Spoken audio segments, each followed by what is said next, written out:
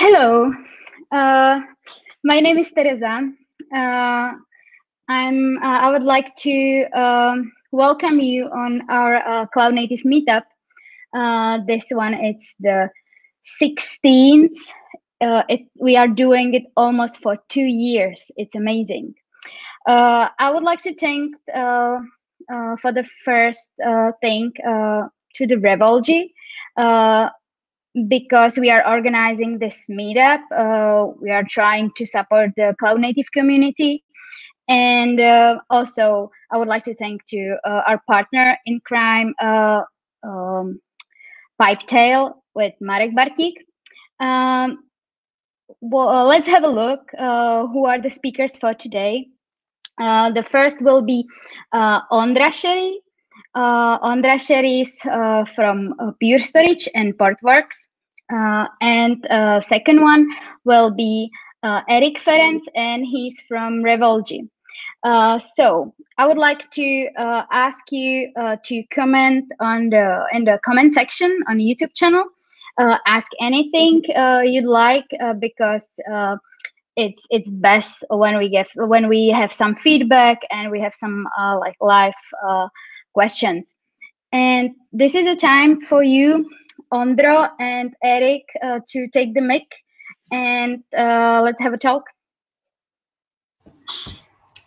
Thanks, Terka. Uh, so let me share my slides.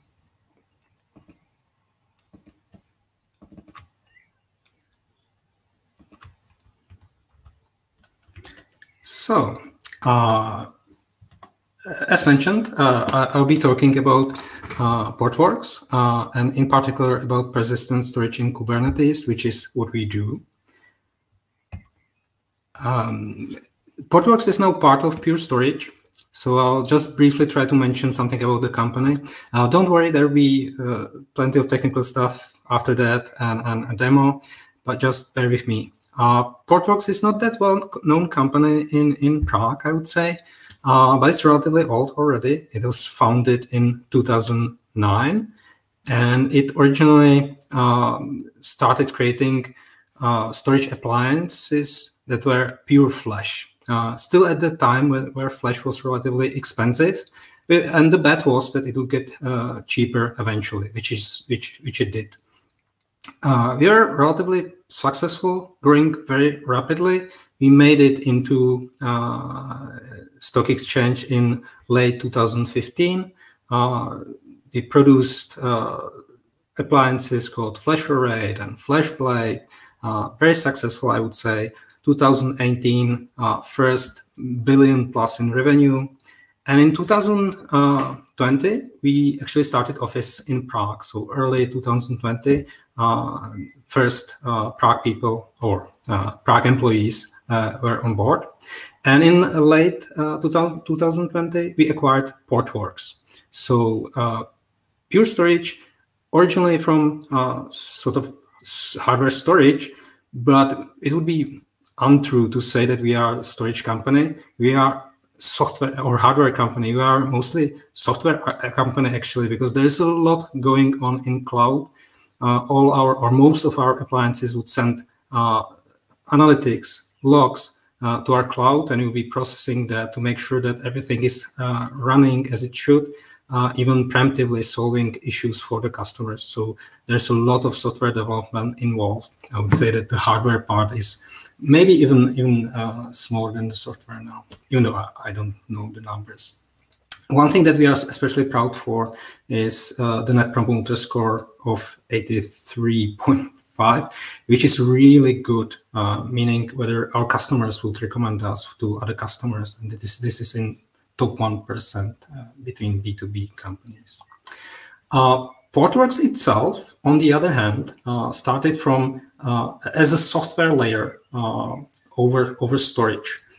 Uh, so it, it, comes from different direction. Uh, it's a software storage uh, overlay uh, that uh, works for containers in general, but for Kubernetes in, in particular. we have many customers, many more than, than visible here. we partner with the most infrastructure providers, most important, I would say. Um, one example for all, uh, if you have kids, you probably know Roblox, the company that, that's uh, creating a gaming platform. It has uh, 70 million active monthly gamers worldwide, and it's been growing very, very fast. Uh, but originally started uh, with like Windows-based uh, software, which was relatively expensive to, to scale. So they were looking at something that would help them scale for uh, thousand nodes, uh, something that would use containers, and they for sure needed some storage. So they looked around and um, they came up with, uh, in the end, combination of HashiCorp Nomad, which is container and VM sort of orchestrator that allows them to scale to these numbers of nodes so they can run both VMs and containers in it. And they use Portworx uh, Enterprise uh, for, for storage management, which allows them to do all the things they need, like encryption, uh, replication, so that they don't ever lose uh, user data. Uh, so that's one of the uh, one of the customers. Uh, but let's get to the technical part. Let's say I assume everyone on the call knows Kubernetes. maybe not everyone knows how it handles storage. So I'll try to say the basics. Uh, Kubernetes has first-class support uh, for, for storage in the sense that it has resources uh, called persistence volume claim and persistent uh, volume and storage class. Persistent volume claim is a resource that uh, expresses a request for, for storage. Uh, and if you create a resource, then Kubernetes or some other implementation tries to provide persistent volume, which is the actual actual volume, actual actual block of storage that you can then mount into your container. And then there is a storage class that uh, is an entity that expresses shared properties of, of different different volumes. So each uh, persistent volume would have a storage class that would define its properties and also where the storage should come from. For this, uh, Kubernetes uses uh, CSI, which is Container Storage Interface. It is more generic than just Kubernetes, so Nomad would Nomad would uh, use the same things. Um, and it's an interface that, that uh, describes how containers should uh, access storage and how that storage could be provided on the other hand. Uh, most cloud providers would have their own implementation that, which would be used by Kubernetes. So AWS, GCP, Azure, DigitalOcean, all those would have their own CSI implementation. But also uh, like hardware storage providers, for example, Pure Storage has uh, Pure Storage Orchestrator, which does does this job and, and, provides a CSI or implements a CSI interface. And also Portworx uh, implements the CSI interface so that it can provide storage uh, uh, to, to Kubernetes and other container orchestrators. Um, in general, Kubernetes uh, is known to be great for running stateless applications, like no doubt about that. If you have an application that doesn't require persistent uh, storage, it, it's great. It can uh, it can uh, live there, it can scale there. Uh, if you have a new version, Kubernetes does rolling update for you. Um, all those things, uh, it, it's great at uh, load balancing and stuff. But if you have stateful application that actually needs storage uh, that's persistent and available and efficiently accessible, it's a bit harder. Uh, if you run in a managed Kubernetes, like in AWS, GCP, uh, you, you would already have these things provided via the CSI uh, interface for you. But they would very often be quite specific to, to that platform. If you want to have uh, like bare metal Kubernetes, you're out of luck. You have to do this somehow yourself, manage that yourself. And that's uh, that's where Portworx come, comes in. Uh, it sort of creates this layer which can manage your uh, storage that's on the bare metal machines, but it can also abstract you from, from the storage provided by the cloud. And it can work nicely in a hybrid environment where you speak just one language, Portworx language, let's say, um, and, and you don't care whether you're using uh, disks provided or storage provided by the cloud in, in the background or, or by storage that's already on your bare metal, bare metal machines. Uh, so that's where Portworx comes in. Uh, you can look at it as like Kubernetes providing the application lifecycle management, uh, and uh, Portworx uh, providing the data lifecycle management. Uh, so it can uh, originally it, it, would just claim uh, the the disks on your bare metal machines and provide them to Kubernetes or other container orchestrator. But now it, it's more. It can it can give you storage from SAN uh, and the cloud providers, as I said. But it does even more. It, it uh, provides uh, backup, uh, disaster recovery, and it has things like Stork, which uh, is actually a scheduler for Kubernetes, which um, supports um, scheduling decisions for your pods based on uh, where the data is actually located. So if you have this scenario where Portworx uh, manages uh, storage that's actually present on bare metal machines, it, it, can tell Kubernetes to, to schedule pods where the data is actually locally uh, available. It would work even if it's not locally available, but obviously it's more efficient if, if, if, it is. Uh, then there's autopilot, which uh, allows you, it's like a rule-based engine, which allows you to react on certain situation, for example, to, to expand volumes uh, when, when, needed. Uh, if you have an, a, a, database, for example, and it's running, uh, it, it's slowly running out of storage on your volume, it can, uh, based on a rule, extend that storage. And then PX backup, which allows backing up uh, your entirely entire application. So not, not just storage, but also the uh, Kubernetes resources from one cluster, possibly uh, creating on another, uh, and, and, more, and more will come.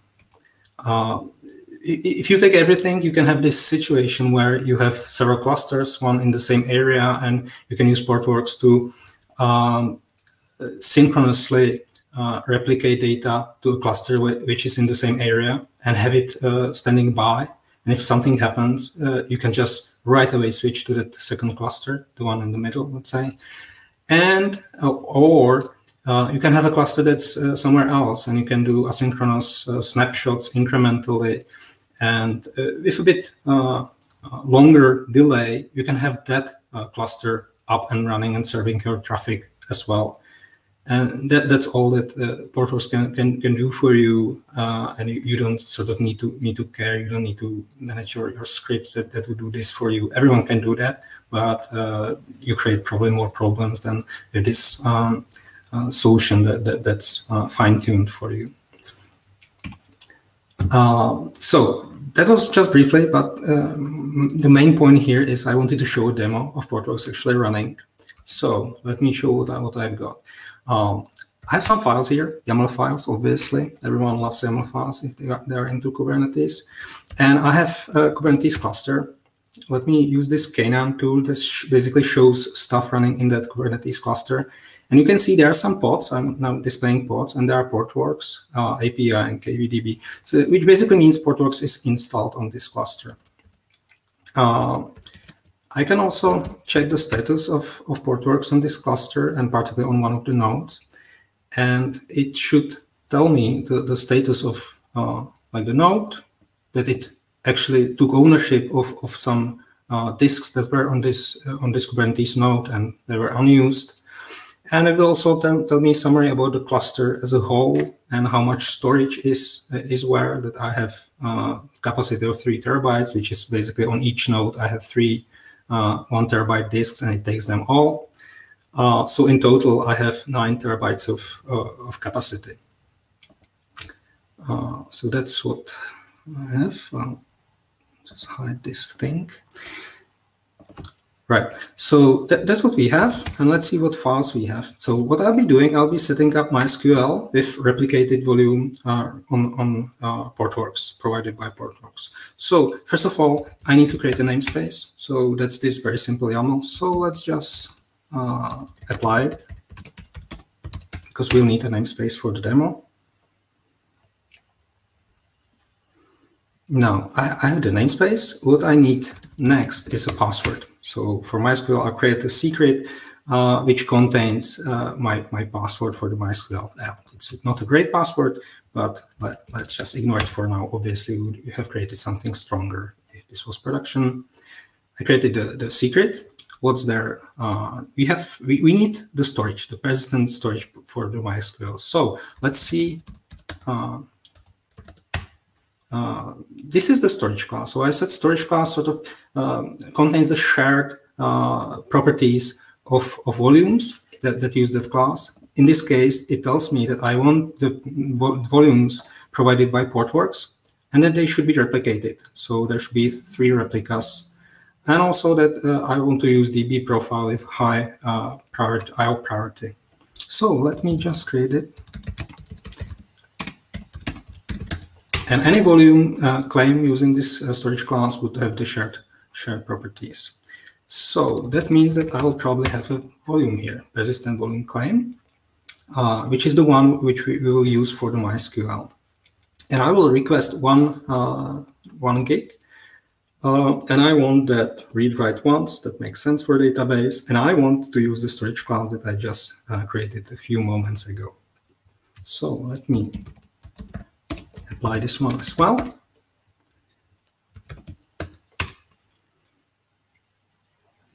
So now we can switch uh, to that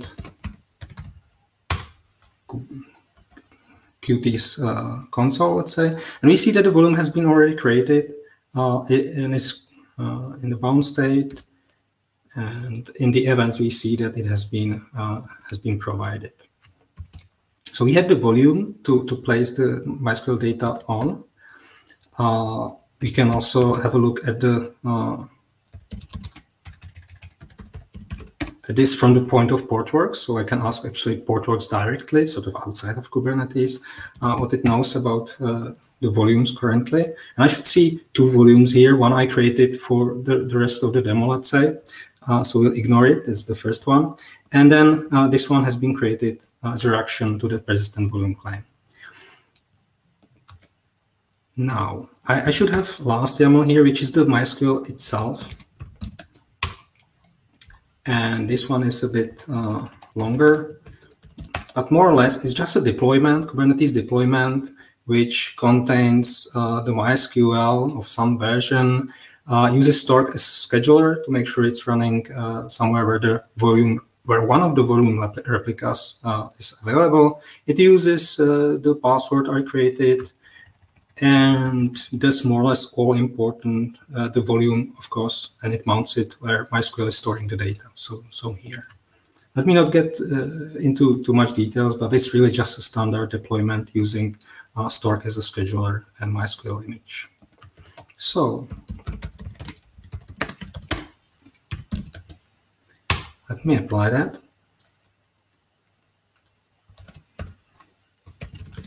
That should have created a MySQL deployment. Uh, it's here and we'll be creating uh, pods. So it's now creating a container for MySQL. You can even have a look at what's in it. Uh, so it started, to pull the image, successfully pulled the image, created a container. So it should be running. It's running now, right. Um, what we need next is uh, we need some data. Uh, for that, we have this script that we need to run on the MySQL. And to do that, I'll just connect to that MySQL container and run uh, MySQL client on it and uh, basically fill, fill the data using this script. So uh, to do that, I'll exec bash in that container. So yeah, that's this MySQL one. You've seen it uh, just now. And I'll run bash there. So right now I'm running shell in, in the container of MySQL. And I've filled some, some data in. You can even uh, connect to MySQL itself.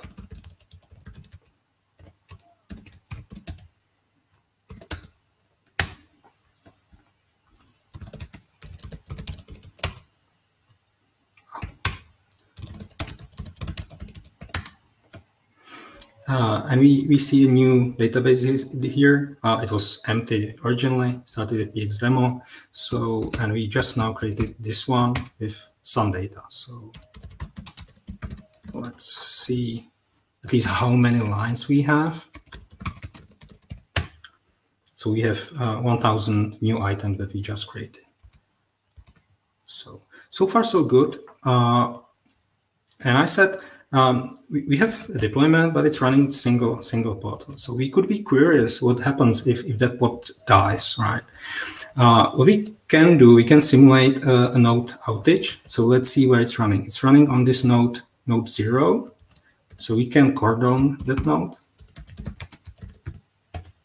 to tell Kubernetes not to schedule stuff on it anymore.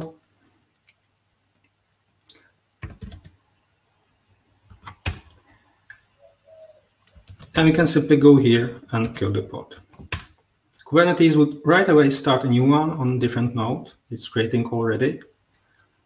Uh, probably uh, pulling the image, right? Otherwise, that, that's the only thing that should take some time because the volume would be already there since it's replicated. Um, so it's running now. You can just quickly double check that it's actually, uh, it's a new pod, so it will be a different, different ID of the pod, name of the pod.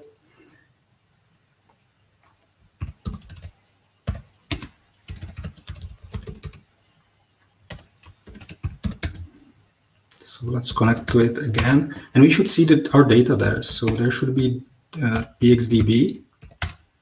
Okay.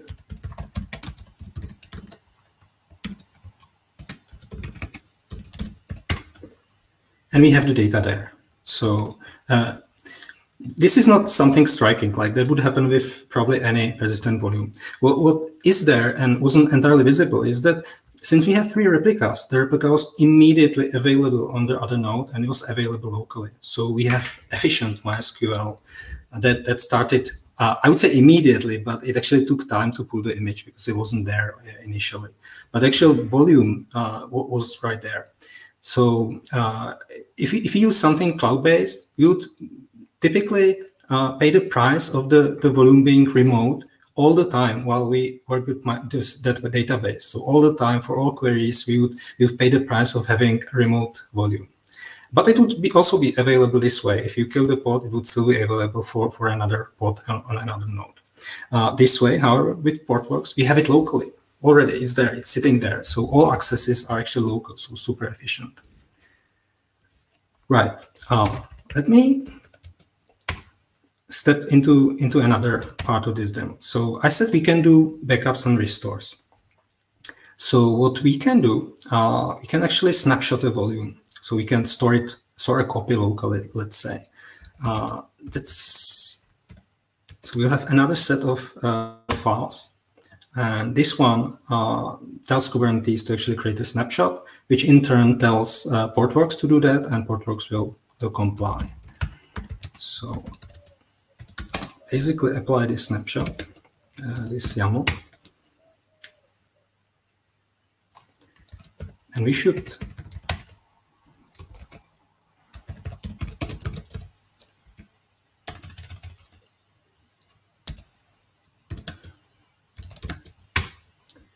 should see that uh, we actually got some snapshot data which represents uh, the actual payload of the snapshot. So, so it's there, something happened. And if, with that snapshot, we can create a copy of that PVC. So of that, uh, actually, of that uh, persistent volume. So we have another YAML, which uh, describes another persistent volume claim. So request for storage. Uh, this this time we request two gigabytes so that the snapshot fits there. It's, we could have used one, I guess. Um, uh, and we tell it uh, from which snapshot uh, we want to create sort of seed the data of this uh, volume. So Kubernetes uh, or, or Portworx via CSI would see that we should seed this new volume with this data. So go there and, and, make sure that initially or the initial values or data in, in this storage in this volume would be the ones from from the snapshot. So let's let's just do that.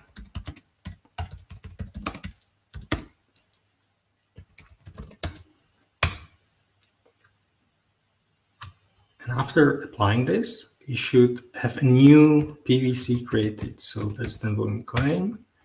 We have it there. That's the snap clone. That was its name. And we should also see the corresponding persistent volume. So this is a request for, for the volume, and this is the actual volume. So both are there. This store, uh, th this one is, is the new one. We can see it because there's a slightly bigger capacity uh, and a slightly different uh, storage class.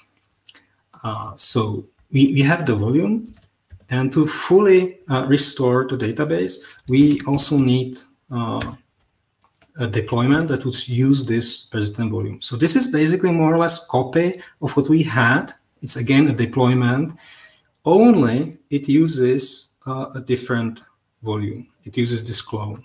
So if I apply this one, you would basically have the same two databases running aside, each using their own volume, and one would be uh, sort of re replica or from, of, the, of the original one. So let's see the pods. We have now running this new one. It's running just uh, 15 seconds uh, MySQL snap. And just to make sure that it's really the one that we wanted or it contains the data that we want, we can uh, connect to it again and do the same uh, little trick with uh, counting the rows.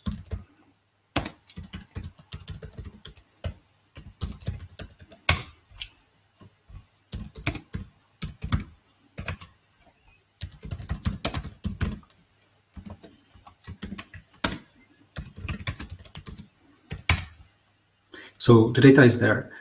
Uh, and it is using different different volumes, so the, the copy has been made, uh, which is which is good.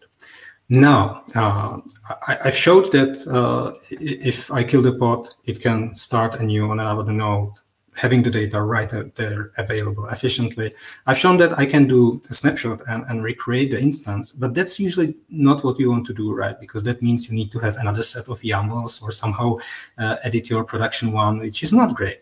But what you usually want is actually for this to happen somehow automatically. And Portworx can do that as well. Uh, so there's another set of YAML files. Um, and this time we'll, we'll be doing the actual backup of uh, stuff uh, into an external location and restoring the whole application. So let's see what we've got there. Uh, we have a backup location that uh, has some data about uh, S3. So basically it connects to S3 with some access key uh, and access key ID. Um, don't start connecting with those credentials. This is actually a, local running S3 or implementation of the S3 protocol, so we wouldn't connect to Amazon with this. Um, and we will use that to actually store the copy uh, of, uh, of the entire application.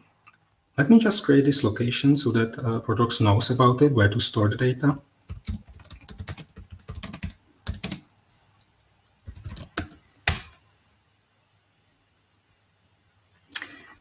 And what else? Uh, now we have backup, which tells uh, Portworx or Stork rather uh, that you want to backup an application uh, to the backup location I just created.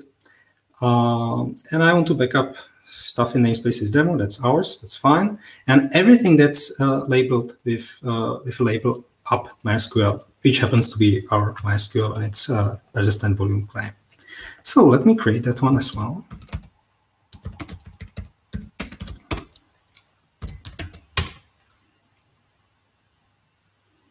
And what we should observe is that uh, there's new object application backup and it's being uh, created. So it's right now it's in progress. It's here. Uh, the PVC has been backed up successfully already. There's the total size and it's now in final stage and it's been successful. So I now have a successful backup of the entire application which consists of uh, the persistent volume and the deployment and the persistent volume claim. Uh, I didn't label the, the, the, the, secret, so it's not part of this now. Uh, what I do now is uh, I just go here and I kill the MySQL. I can kill the snapshot as well when I'm at it. And I'll delete all the PVCs.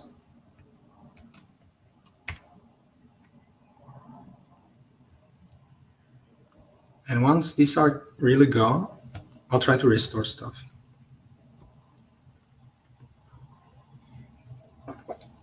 Which is a bit more real life scenario, right? Something really, I don't know, uh, you accidentally deleted everything or you need to restore stuff in a new cluster. Uh, it's taking a bit longer than I would hope for. Did I delete it actually? Oh, I need to delete the deployment, sorry. Um, so let me do the deployments because otherwise it would uh, start a new pod, obviously. So now it's terminating the pods as well, and we should uh, get rid of the PVCs momentarily.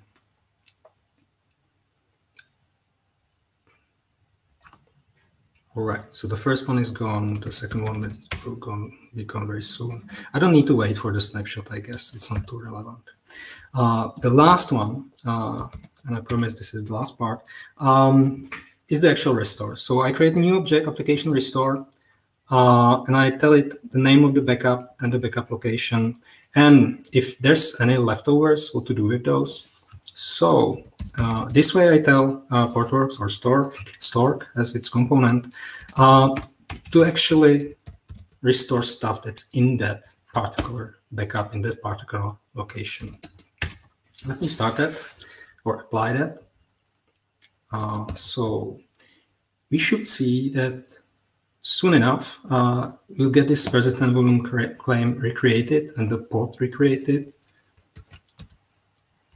I guess I can try to wait for it. Okay, so something got here. It's still in the low status, but should be uh, should be populated very soon.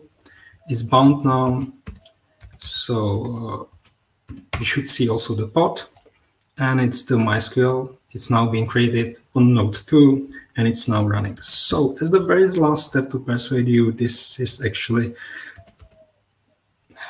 holding the data it should. I connect to this new pod, so it's slightly differently named again.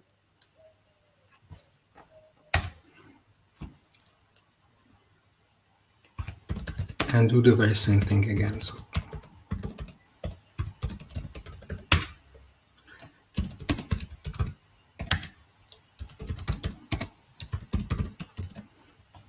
I guess I should have deleted some of the, um, tables, uh, but I guess you can imagine how that would look. So we still have the data there, even though we manually deleted all the PVCs. With that, I guess that's enough for the demo. Uh, I just wanted to very briefly say the takeaway is Kubernetes is great for stateless apps. Everyone knows that, but stateful, stateful is uh, quite often hard. People often deploy databases outside Kubernetes, which means they have to manage two different approaches to managing stuff, or they just use cloud uh, databases provided by their uh, cloud provider, which, however, locks them in very, very deeply, and that can cost them money um, in the long run. Uh, and Portworx is here to help. Uh, it prevents vendor lock, lock-in. Uh, it does uh, manage storage for you in bare metal scenarios or um, uh, in, in uh, hybrid clouds. And in addition, it, helps with backups, replication, and encryption. I haven't shown that one, but you can have your volumes encrypted, which is really, really important as well. Uh, if you want to know more, uh, you can always uh, reach out to me. Uh, this is my email address we are always hiring. Uh, we're always looking for uh, more customers that, that want to uh, manage uh, storage in a reasonable way. And, and, we are here to help with that as well. So are there any questions? And I'm not sure how to handle those. Uh, Terka, maybe you can read them if there's uh, yes. something. Yes. Uh, Ondra, thank you for the great talk and for, for the demo. I hope uh, uh, it was visible on the stream. So we have a lot of as well. we have a lot of questions, so I will show them. Uh, cloud providers worry inability to deal with scalability issues. What common frustrations did the speakers have with scalability that was unfortunately common amongst old cloud providers? Scalability. I'm, I'm not sure what exactly it uh, refers to. Uh, um, I guess the the biggest advantage of of having let's say uh, storage managed the way I described, apart from all the things that you get uh, in extra like the backup and restore, is that you actually have things both uh, uh like replicated, so they're they're safe there. You can have number of replicas, but they're also locally available if you use the storage already available on the, on the machines. So uh, that, that's one thing that helps with uh, scaling in the sense of uh, effectivity of, of the applications running on top of that. With cloud providers, actually, I, I, think they are scaling pretty pretty well. So I'm not sure what, what's the shortcoming that, that that's being hinted at. Okay, if if it's not uh, like answered properly, uh, I encourage uh, Tanvir Salim to ask more in the chat, so we can we can talk about it later. Uh, the second one is uh, you, Ondro mentioned HashiCorp was used to uh, used by companies like Roblox to resolve scalability problems. If the speakers also use Hashi, HashiCorp, uh, what were the pros and cons of using it for scalability? So HashiCorp Nomad, uh, I don't use it personally so I, am not sure. Uh, the the case study I mentioned with Roblox, uh, the reason for using HashiCorp was mostly because at that time, uh, HashiCorp Nomad would would uh, allow working with both VMs and and containers, which I think Kubernetes is still not too great at, even though there are there are uh, efforts to to allow like this KubeVirt and, and stuff like that that allows you running VMs as well. So I think that was the primary choice for a reason for the choice of Nomad. Another one. Uh, how does database storage affect scala scalability performance? If it does or not.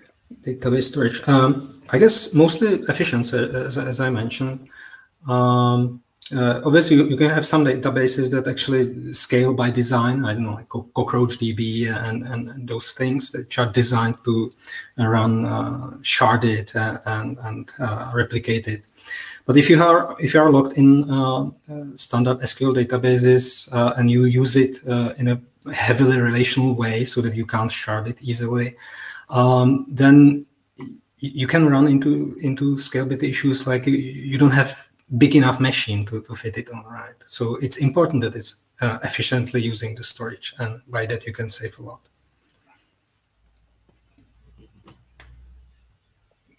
Uh, Kubernetes is often used on cloud-hosted sites. How does Kubernetes affect the load on a cloud-hosted website? Okay, can you read it again? Sorry, I'm not sure I, I got that question. Kubernetes is often used on cloud-hosted sites. How does okay. Kubernetes affect the load on the cloud-hosted website? Um, not, not sure how to respond. Like, um, if, if you have a website that's mostly static, obviously, if, if, Kubernetes, you can you can you can scale easily and load balance the, the traffic as you need. Um, if you have something that stores data, which would be most cases, of course, somewhere in the background, there's something holding the data, usually the database. And oftentimes people would be shy to place it in Kubernetes because it's not that great at, at handling storage for databases as first-class entities. So there, it has replicates this uh, set and stuff like that, stateful sets. Uh, but if you try it, you, you know, it's sort of not, not enough. So you need something more. Um, and for that, Portworx is there. I, I, know I didn't answer the question entirely. I, am not sure what it, what it means. Uh,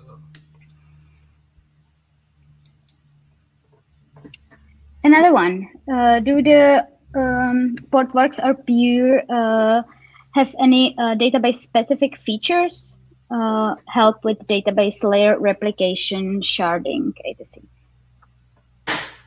Uh, I guess part of it you, have uh, for sure seen already in the demo in the sense that uh, in this when I was creating the storage class, it would already have some uh, sort of profiles. Uh, one would be specific for DB. You can you can have different like IO uh, priorities. So these things are are tuned for different workloads. so for DB, you would cho choose the one that I've chosen, and you can have different different storages on the uh, on the machines. So for example, if you have a machine that has both SSDs and, and uh, standard spindles, you could have them in different pools with different capabilities. Uh, and for some workloads, you would use uh, those SSDs, and for, for others, you would use uh, the spindles. So I would say this is a specific feature that, that is there to help uh, classifying workloads and in particular databases. For Pure Storage, obviously, the, those appliances have many, many features for for databases, but I'm not too familiar with, with those. Uh, so yeah. Another one. Ondra, you mentioned cloud, cloud-based hosting technologies do a great job at handling load balancing traffic.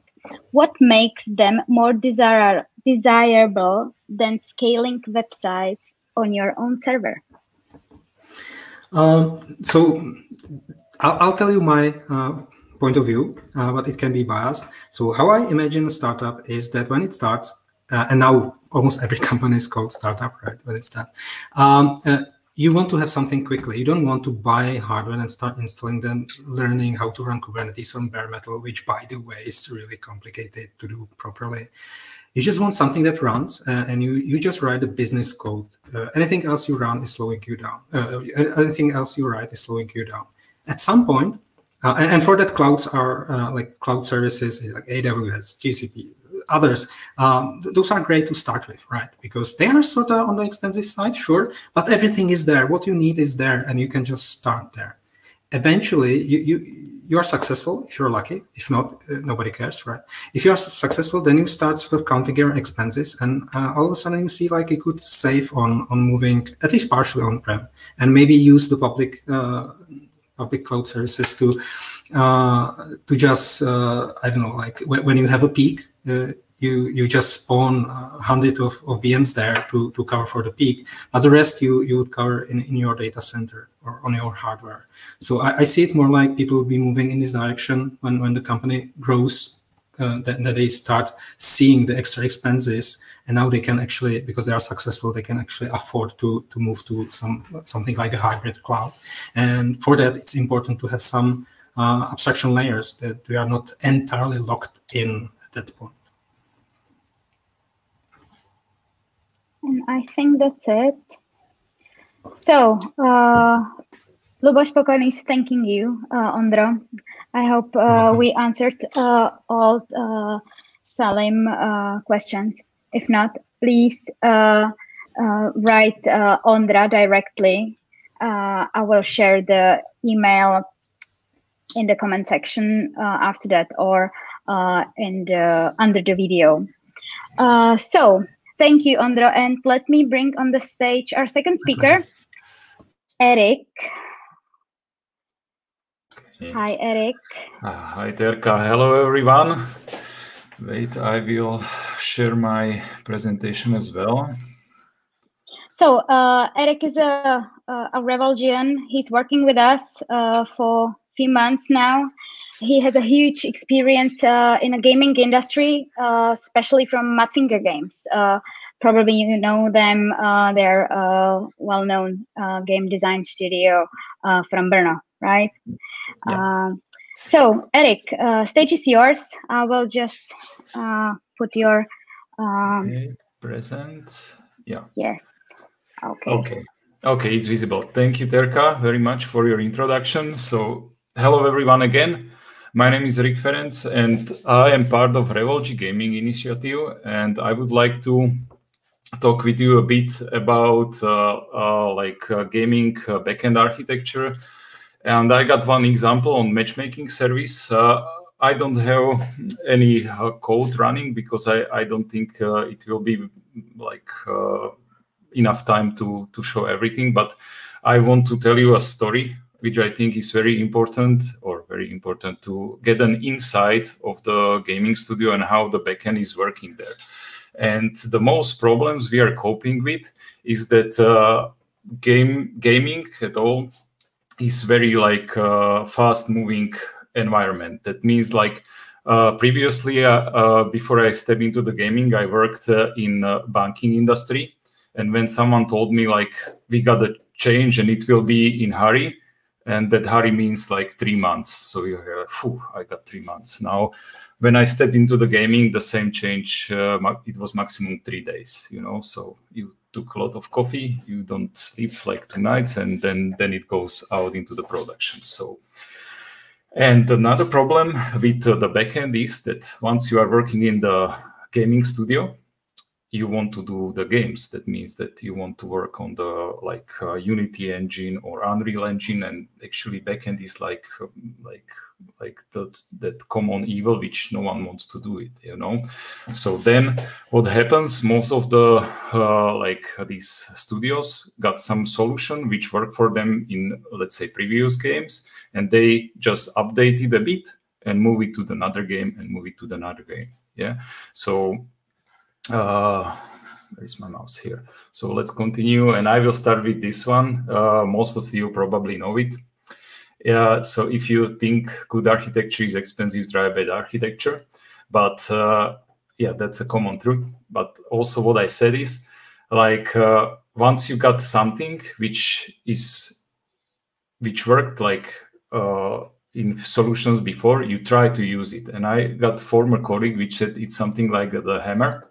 Once you got a hammer in your head, everything looks like a nail. So you try to use hammer even on your like say, screen or your car or whatever and uh, then it comes to the problem yeah so uh, let's start with uh, with this uh, matchmaking story and uh, uh, it's something which i experience. it's a bit simplified and also it's a bit like overrated like in the problems it happens uh, and it didn't happen even on the matchmaking but also in other services. And it's like common stuff which i which happened in my practice and which i heard from the friends and colleagues that happened on other studios as well. So let's start a bit uh, why i why i took uh, matchmaking because it's easy to easy example you know you you need a few people to get together and play the game. So uh, let's consider we are on the on the mobile platform and you need from 2 to 12 players to get into the game yeah? So requirements are we need to connect two players to the duel three players to the pvp uh, and 12 players to the deathmatch yeah? And uh, you need some kind of algorithm to pair them together. That means like the the player with level one can't play with player with level 25 because that's like 30 seconds match and no one enjoy it. Yeah.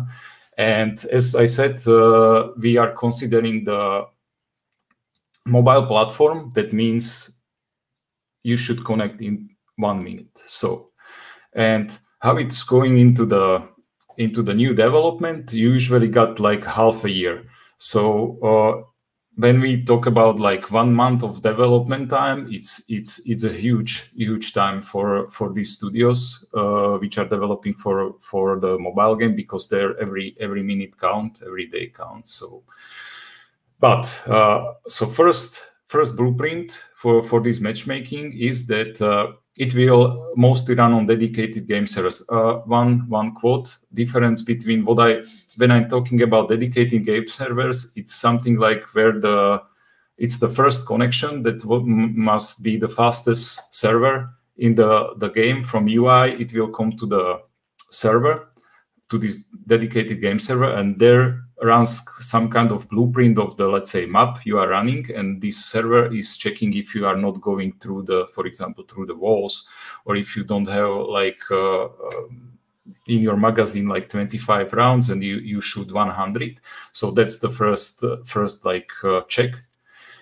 That should be the with the best latency fastest servers. And uh, then there are game backend servers. That's something like microservices and services which store user data and do more of the persistency stuff and and like work behind.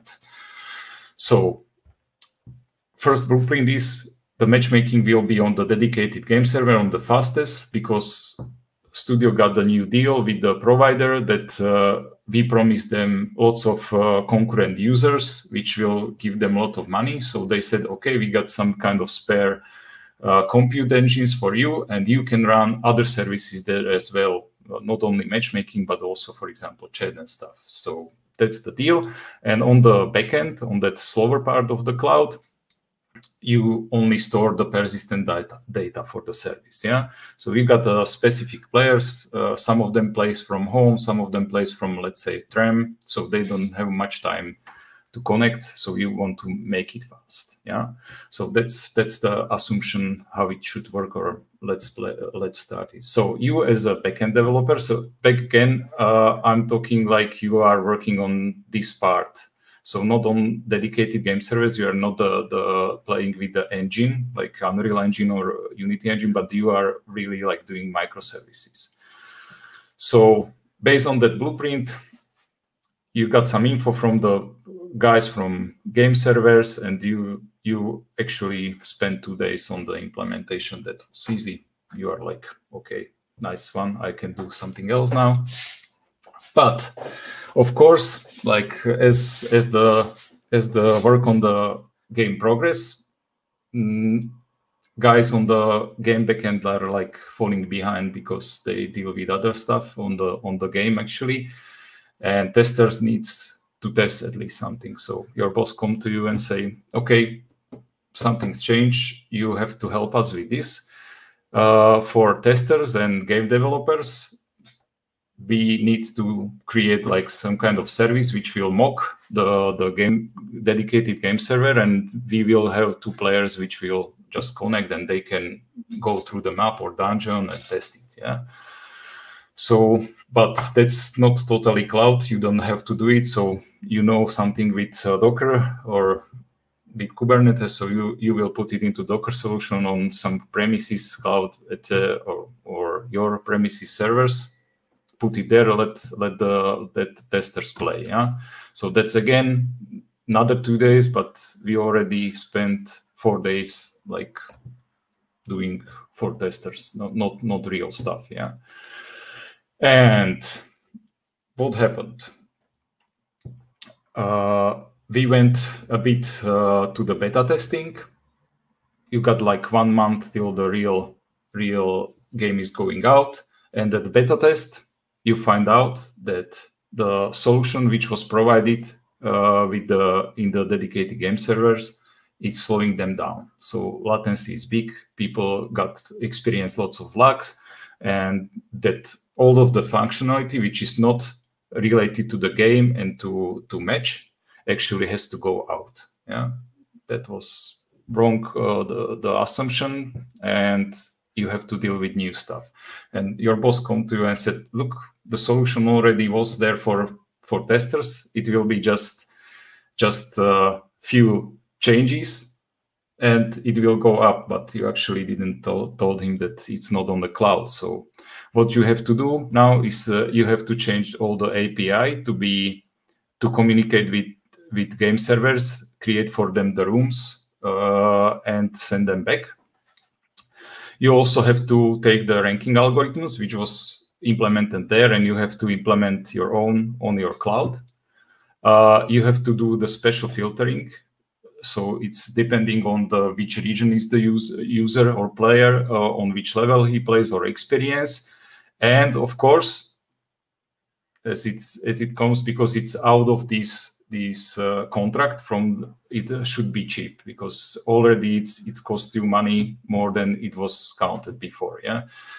So uh, here is the kind of uh, example that you will have three three function like register player uh, to the match, unregistered player for, for, from the match, and get rooms for the servers. Yeah, this is something how, how look the, the register request. Yeah, you got like player ID in which region for which version of the game, what kind of uh, room you ask, in which level is user, what kind of experience deal that to kill ratio to get the correct users to play against each other, and this is how looks the get rooms uh, response like uh, to the servers. So you will get some kind of for which region, for which app, and you got specific rooms, yeah, for cooperation, for for that match, for duel, yeah.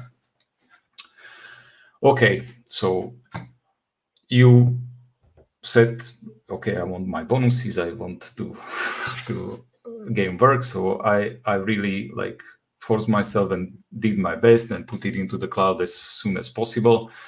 test it with with the users and actually before we went like to the production we, we tested even we created some kind of like uh, uh, estimation how it should behave and this solution is serverless. Uh, when i'm talking about serverless i mean for example on google cloud i mean app engine and uh, data store as a as a database. Or for example in uh, aws i mean elastic beanstalk, beanstalk and, and dynamodb. So you got something like uh, you you pay there for uh, reads of the data, writes of the data, also the, the data transfer. Uh, you also pay for the CPU usage on how many instances of the servers you will create. And, and here I put like all around Zoom, just for comparison, you will see in, in the future slide that, that this will be like useful. And uh, the based on the the prediction that how successful the game should be you got like uh, it should be 3 million 600 players per month there in your matchmaking like uh, going through it yeah so that's the expectations so as i said you did your best in 14 days you did it but overall you got 18 days of the of the of the work only on this this microservice, let's say. Yeah. So game is going into the production. First month is always like hectic. So for you, you, you are taking care of everything, logs, stuff like uh, checking instances, also small corrections. Uh, so this is how, how actually you feel all the time, one month. This is how your boss see it. And uh, when you're friends and family ask you like why can't you come home what are you doing that's that's something like this so, so and after this one month when you did this firefighting with with all the all the stuff you don't don't don't like predict before and you have to change you have a time to check like how the the matchmaking was was doing. So and what's the reality? And this this is the prediction which we were seeing before, and this is actually reality. And as you can see, the, the amount is a bit higher, so you didn't catch it, right? And also what happened is like you don't even get close to, to the 3 million players. So something is wrong, definitely. The game is not performing as you as it should, and also the matchmaking service not not performing as it should. So uh, another info, like when we when we check uh, like how the users behave in specific region. Let's say we are in the US region. This is the the, the morning, like and the going to the like through the through the day. The more people will join, like this is the usually the evening stuff, and then during the night and stuff it, it going down and it's mostly it's like a nice sinusoid so you can like go and see that like users it's it's usual pattern in in this in these cases. But when you took uh, a look on your logs and uh, and and, and some kind of analytics you you see actually it looks like this and not like this. And it's kind of strange yeah?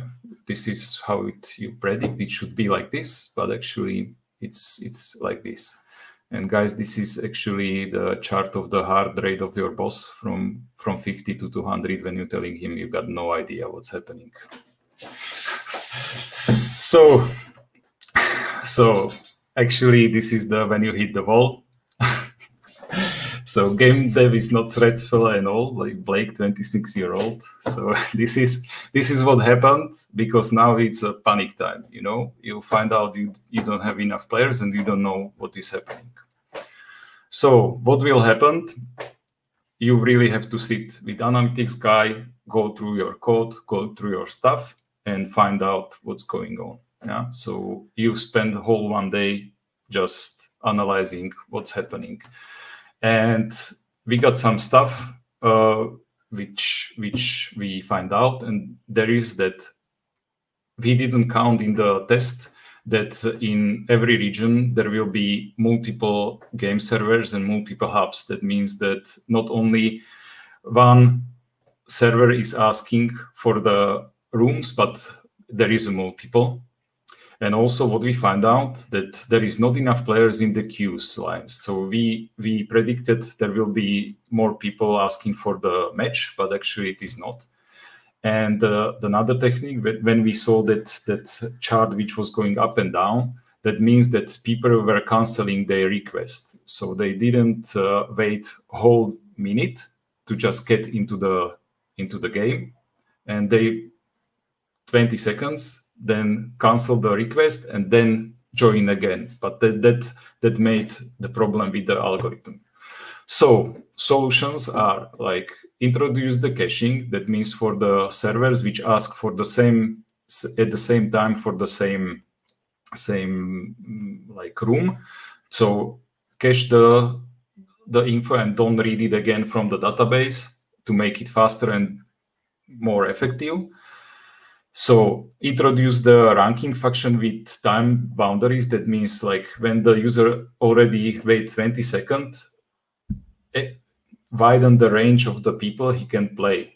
So depending on the time, it will it will connect him with more people. So that means that even the small, smaller queue will will help them to get into the match like faster, and do the specific stuff when the user is canceling the the registration at the time when the room is sent to the to the dedicated game service. That means that play starting, but you unregister. That means that 12 people should play, but you you it's not six against six, but it's three against four. And that, that should not happen. So and dedicated game servers should ask more uh, more often than than it was before. It was 10 seconds. Now it will be five. Yeah. So that's the solution. Again, you know what you are doing. You spend another four days overall on this service 23. Let's have a look what happened. So as you can see, this is the, the latest solution. This is the solution before. This is the prediction. So it's kind of better. You know, we get the cost from 370 to 329, but still it's not even to the prediction. And still it was not enough with the players in the queues. That means that we helped it a bit, but it's it's it's it's not not not what we expect. Again, you have to go to the analytics guy, and now he provides you with this stuff. This is like, so you got no chance to to find out alone. So you have to sit with him, explain him what the matchmaking is doing, you have to explain him what you expect and what are you looking into the data and he should help you with with solving these these charts and what does it mean yeah? So again no implementing nothing just two days just searching what what is wrong and what is not wrong yeah? And what we come from is that actually we got enough players in the game but they are not so interested in the in the playing the match because it takes a long time. So we are coming from new stuff for the matchmaking and it's invitation. That means when the player comes into the game and just fooling around not doing anything he will get the invitation for for the room which will which is almost created that means when for you need 12 people for the room and you got there 10 people we will send invitation for let's say 20 people and two of them join. They they actually in in instance go to the to the match. So we will create some kind of demand. But with this comes another like challenges and you have to you have to like for example unregister the player from this invitation so when he's uh, waiting for some uh, one kind of match he should not get invited to the another type of match of course and you have to make the system uh, not irritatable for the players. That means when they don't care about an invitation, you show them like two or three times, and fourth time it's not there because it's waste of time and also it's not not not good for the players. And of course, you want to create the demand. So once the user missed the invitation, it will show him something on the on the screen like uh, new match is going on without you. You missed it. Yeah. So okay, that's the like requirements. So you again need new API because you have uh, you need some kind of new stuff there. Uh, new algorithms for for picking this player for the invitations. You have to also store all the matches where the user will be invited. Uh, this new info about the to the players that were too slow and tell him like, come on, you miss it. And again, because we want to invite as much people as possible, we need to get more info about these rooms and more info about this invitation. That means we are moving the this get room request to get every second to the to the game server. Yeah. So again, lots of stuff, lots of programming, and like you are really focused on it, you will handle it in seven days to, to do it, to, to test it and to get to the production. So overall, it's 32 days, but again, you, you achieve it. But what I want to like show you now is this, this first one that was the get room response to the game servers when it was created as the first one. Yeah. But now it's look a bit like this, where you got not only rooms, but you got also these types of invitation, you got these cancellations. And this is, of course, uh, a bit simplified stuff. The, the real response will be like 10 times bigger than this one. Uh, when we counting, you got like 5,000 uh, common players in, in, in this, in this one, one time period. So you have to handle 5,000 players like every second in the in the stuff because you are sending them invitation, you are registering them. So so the response is several times big. But you put it onto the production. You are the hero of the neighborhood, going to with the guys on the pier, like everything is okay. You return home, and again, you hit the wall at 3 a.m. at the morning, your boss is calling you like, "Come on, something's happened. We are not able to to join to the game. No one is getting to the match. Something's happened with the matchmaking service." And we are like, 3 a.m. really? So let me have a look. Yeah. And what do you find out is that you reached the daily quota for cost on matchmaking service, which was set there like three months ago uh, because the service was really simple. You, of course, forget about it and you put there lots of new stuff, but the quota stay the same. So what, what happened? You did your own DDoS from dedicated game servers to your matchmaking service because they were hitting it so hard with lots of traffic. And of course, what happened now is that even with that stuff you implemented there, it is most expensive microservice in the game backend, which is it should have been the the less expensive or the the really minimum, and you you got to to the the really big numbers. Now, uh, where is my mouse? Here it is. Sorry. So. what really happened? So are we happy? It's it's working now. You got uh, tons of players there, but they can't connect into the game. Yeah. And uh, as you can see, the overall monthly cost is $2,261, which is like compared with the previous one, like really bad, you know. So you have to really like think fast and work fast to to make it work again correctly. So uh, and this is what I was talking about this this hammer once you got your hammer in the hand, everything is like nail. And this is how you actually misused the serverless and database read and write to the maximum extent. And now you know you can't go further with it. So what do you have to do? You have to really create some kind of uh, cache database on, let's say, Redis. and you have to cache everything. You have to cache registration to the match, you have to cache registration to the invitation, and you have to cache all the responses which are like common for the dedicated game servers. So what will suddenly happen? The the place where you were comfortable with, like this serverless stuff, and you are just deploying your your command code, you have to suddenly uh, implement in the Redis. Okay, you got some kind of cloud solution like serverless Redis, but anyway, you have to set some stuff. Yeah, and uh, of course, what you were able to do in let's say SQL database or no SQL database, it's it's hard in caching stuff because there's key value pairs and the filtering and most of the like picking their stuff. It's it's harder, of course, and that means you have to rework most of the code you you have written because these Redis, uh, Redis algorithms for for uh, picking the players will be totally totally different. So again, but you are dedicated, you want to make it work. So four days, 36 days overall. That's already super too much for one one service. Yeah.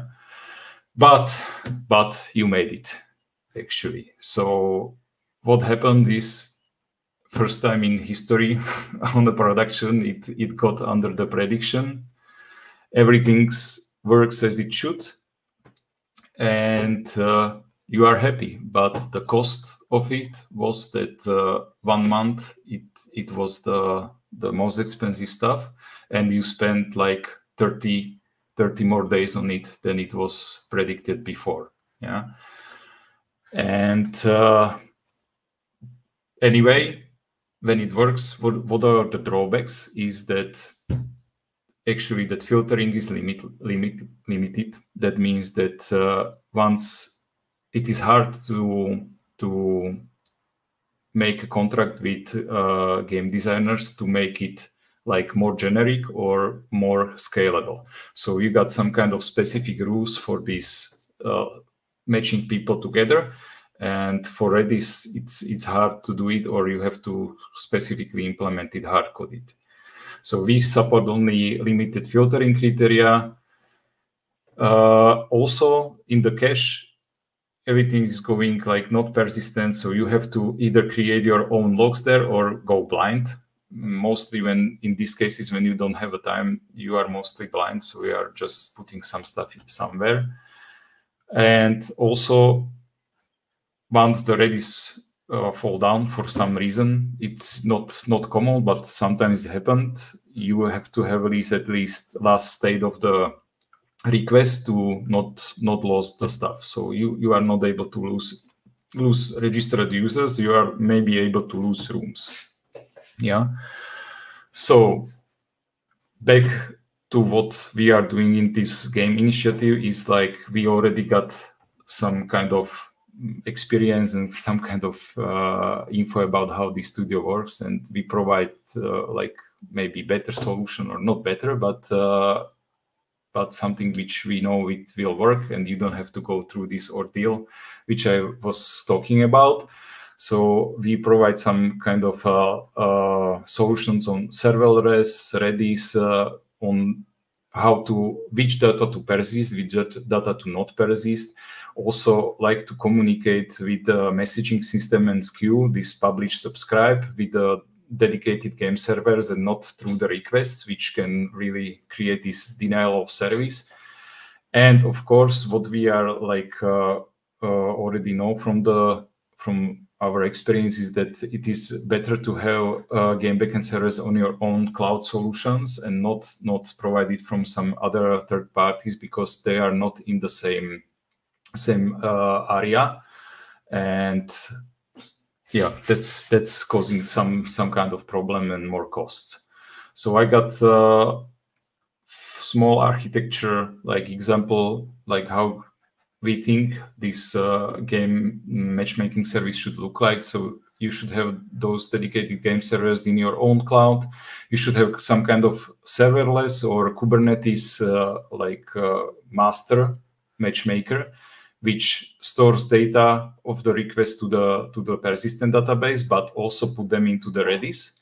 And based on how much people is requesting uh, the service, it will only call cloud function or lambda which will base on on these requirements from this master take the specific users put them into the messaging queue so this uh, public subscribe and and dedicated game server will get noticed so it's uh, then very fast generic solution very cheap and uh, it will definitely work on most of the most of the games that that I at least know. Okay, so back back to the what we do. So we are a bunch of uh, like uh, game backend professionals uh, which are orienting on helping people with uh, game server security, of course, analytics, uh, bit of artificial intelligence for bots, for example, Kubernetes and serverless. Uh, so we helping uh, game studios not only create new backends but also move the the old uh, backends to the Kubernetes or serverless, so it it will be more effective. And of course, we are trying to to do as much with security and architecture and cost analytics for you. Uh, I got more experience, most experience on on Google Cloud, but also AWS. So that's where we put our proven solution. And what what what is the the main stuff is these quick starts uh, or landing zones we call it. So we got some kind of pre-created solutions uh, which we can run and put it into your your demand. So depending on what what type of game you are creating, we we are able to to change this solution solution to to your stuff. So we we know how to do it on Google Cloud, on AWS, maybe also on uh, Microsoft Azure, but that's that's a bit bit out of out of my scope. Okay, I think that's all I wanted to tell you. Hope hope it, it brings some some value to you. And now I think it's time for Q and A. Thank you, Erik. It was great. Uh, we have a lot of questions. Oh. Mm, yes. Uh, so, how do the game uh, developers handle all the traffic for multiplayer? Uh, oh, look, it's uh, as I said, uh, you got these uh, dedicated game servers. That's that's the like first first place to to hit. So most of the most of the stuff from the UI, that means from your game, for example, once you got it into in your in your mobile phone, it goes to this dedicated game server. Depending on what kind of play, uh, play uh, game it is, uh, it's either like PvP, which is very like uh, live and have to be very responsive. That one, for example, don't go through any special firewalls or something like that. The the the all the stuff security is implemented in, in game dedicated server. But when you got something like when you take turns like card games or something like that, that could be more secure and going through specific traffic and don't even need these dedicated game servers. So, mm, and how we handle it, either you got serverless or you got uh, specific Kubernetes uh, stuff uh, and you have to know how to scale it. The good stuff on the dedicated game servers is uh, the it is stateless mostly. So that means it's easy to scalable and also we got some kind of rules like uh, when we know for example based on the our experience and and how the game behave how many co concurrent players one server will handle for example let's say we got one server which will handle 2000 concurrent players so we got some kind of uh, info there about it and once it hits uh, 1800 we will start another server in the same region for for new players. Yeah, so I I hope that that's that's what what they asked. Another one. What are pros and cons in using serverless to uh, uh, manage game, server hosting multiplayer? Uh, I'm big big uh, promoter of serverless. So for me, it is that uh, actually you have to only write the code with specific SDK and everything else is done for you. That means you will write one script, which is your CI CD pipeline, which will deploy your code into the GCP or AWS. and everything other is take care about. So it means uh, like security, it means like scaling, it means like connection to the database, it means like scaling of the database and stuff. So uh, the real advantage is that that for example, what team, like say five people team for for non-serverless, let's say Kubernetes, manual Kubernetes or virtual machine will handle, then one developer with serverless is able to do in the same time. So that's that's exactly the the advantage what I see there. Um, what is the best way to prevent DDoS on the game servers? Hmm. This is hard. Uh, actually, you have to count a bit with this, uh, but there are some kind of specific security checks. So you know, for example, like uh, you got uh, patterns in the traffic, and you got it from specific region mostly, and you know that at this time there is usually like I don't know ten thousand requests per second, and suddenly when it comes from ten thousand to double or triple, that there is something wrong with it and you starting to check uh, the requests which are coming from the same sources faster than usual. So this is this is one prevention that's kind of automatic. And second is like uh, in your game uh, it should not uh, or everything should be like secured even the communication so it should not show where the servers are. So common practice is also you got some kind of like middle check which we which is like some kind of server which is known to everyone but this server is sending real data back to the game servers. So hackers are not able to to not to find it but find it so fast. Yeah. I that's that's all i can say i would say. So hope i i i answered the the question rightly Mm-hmm.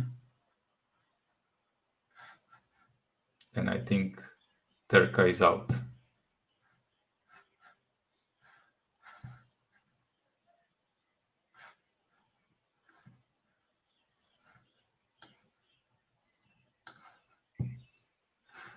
Yes, uh, I'm back. Sorry. Yeah, you're back. Okay, so I finished the question actually. So you, you can come up with another one. Yes, sorry, my internet dropped. Um, so there is a, another question. Um, are there out-of-the-box cloud matchmaking services? Uh, yes, they are. Uh, I think AWS uh, Lambert uh, solution got their own uh, matchmaking service. Also, there is uh, there is some kind of uh, like open source solutions like OpenMatch. I think Google Cloud is promoting this stuff. So they are. I don't see any disadvantage of those. you just have to consider if it's either there are or disadvantages maybe you get vendor locked because these are provided services, of course. And it's sometimes it's better to see inside. It's it should not be a totally black box because as I, I, mentioned in my example in the presentation, it's good to know from the analytics what is happening inside because some things you can't predict. Yeah. So mm, I recommend if you got like out of the box solution to to know what's what's inside and how it how it works yeah. But uh, mm, definitely it it can work for any any game. Uh, is there any standard tech stack used for backends in the video game uh, industry? What about the used languages? Is the c++ still still the go-to language or not? Mm.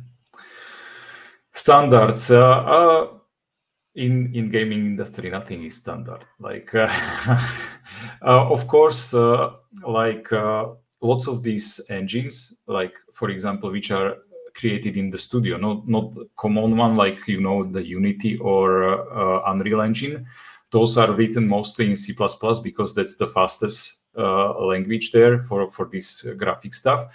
So they are, and of course, most of them are really old, and most of them like work in C++. But I don't think it's standard because, for example, Unity now works also under C Sharp. Unreal Engine also supports C, C++ and C Sharp. Uh, so um, I wouldn't say it's like standard, but uh, what I would recommend is when you want to to be a game developer, like focus really on on Unity, on Unreal Engine. Those are, I think, two most common engines, and uh, you can learn a lot. They they also support a lot of like uh, exercises uh, like how to learn not not even the with the graphics but also with ai and also with this matchmaking stuff or other services like leaderboards uh, they they support a lot of lots of nice stuff for the gaming so i can recommend uh, unity and Un unreal engine yeah.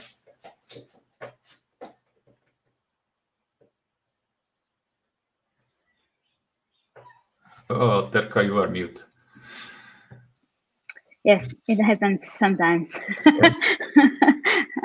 Are dedicated game servers more CPU bound or more uh, AO bound? Mm-hmm. Input output bound. Yeah, mm, it depends again uh, on your game. Like, uh, for example, when you uh, got like really, really uh, mm, complex map, for for example, when when we take a first person shooter, it will be more CPU bound because you got lots of computation, what is happening in the game, how many players you got there. And uh, anyway, then the input output is really small.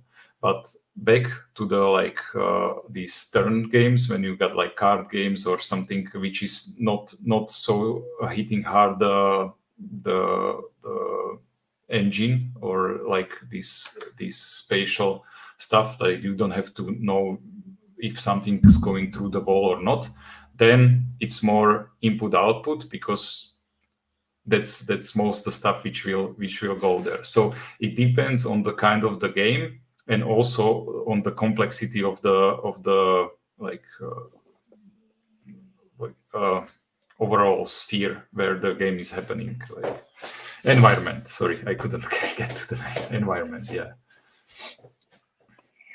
uh, are there any particular algorithms, approaches, or concerns that need to be addressed uh, that are common in video games backend, but not usually encountered elsewhere? Mm. Not, not really. Mm, when I when I speak about like backend, I mean these microservices behind. So uh, usually you you want to make them like uh, with great API, so it's easy to use. You want to make them fast and you want to make them cheap.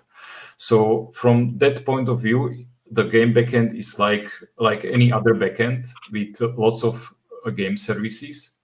Those are like or microservices. Those are like small but have to be fast, you know, and have to be easy to use because, as I said, in game one week it works like this and you find out it doesn't work for players and you have to change it and best way to change it it already got like good this base in the backend with good api which you don't have to change much or or is easy to change and then then you can create good stuff but uh, not special algorithms. When when we talk about like game real, like what's happening on game backend and on the on the client, there you got uh, AI algorithms for using these bots. For example, when you want to play, you you don't have enough players, but let's say you need 12 players, you got only 10, and two players are bots, which will play with you then it's special algorithms which will train them. But uh, that's that's behind the scope of of this like usual backend. So yeah this ai learning stuff it's it's it's like special. And i think this is it.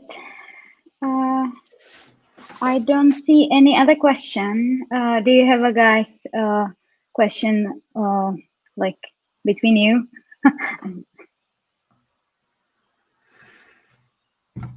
no. Just thank you. It was really nice. Yeah, yeah, yeah. That's also that. Thank you for the time. So thank you very much. Uh, this is it. We are on the finish line uh, tonight. Thank you all for joining us tonight, especially to our speakers. Uh, it was pleasure to have you on board.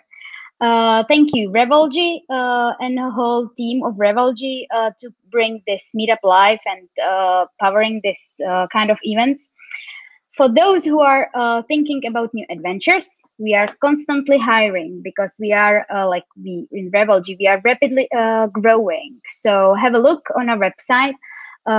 follow us on Twitter, ping us message. we are also in GitHub and uh, we can do uh, coffee at least the virtual virtual one and maybe in the summer we will do some kind of uh, cloud and uh, beer or cloud native beer meetup or a barbecue party or, or something like that.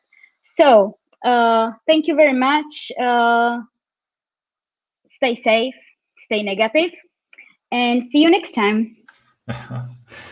Okay thank you very much. Have a nice day guys. Thanks bye